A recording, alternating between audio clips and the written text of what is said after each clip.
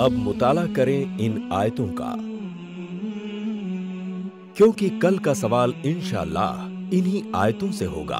अपनी तैयारी करके कल के सवाल में ज़रूर हिस्सा लें।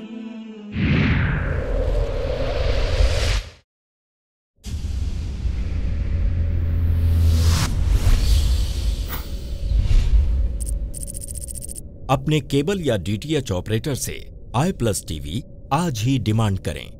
I plus TV free to air और इंडियन रजिस्टर्ड चैनल है।